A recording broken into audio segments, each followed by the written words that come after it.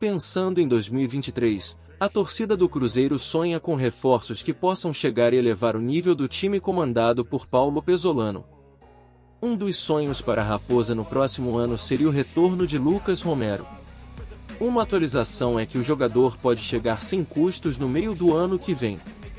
O volante argentino está em fim de contrato com o Independiente Argentina e a partir de janeiro poderá assinar um pré-contrato e chegar à toca da Raposa a partir do meio do ano.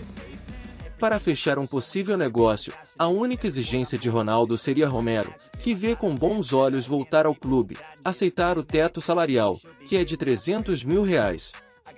Em entrevista para o Super Esportes, ainda na última temporada, o argentino reforçou seu desejo de voltar ao time celeste, mas, na época, como ainda tinha um longo contrato, deixou claro que respeitava seu atual clube. Porém, agora, ele tem apenas cerca de sete meses de contrato. Se você perguntar para mim, lógico que eu gostaria de voltar a jogar no Cruzeiro.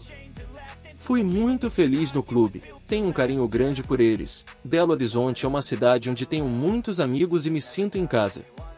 Gostaria muito mesmo de voltar a jogar no Cruzeiro. Sei que tenho muito a dar por esse clube, disse Romero na época, segundo publicação do Super Esportes, Neste momento a renovação do contrato de Lucas Romero é complicada. Nos próximos dias pode chegar uma oferta de Cruzeiro pelo meia cujo contrato termina em junho de 2023, informou o jornalista argentino Facundo Jauregui em suas redes sociais. Stop being incompetent, mental health is confidence Dreams and some honestness, I'm not here to save the day That's for you to take away I could play a million mind games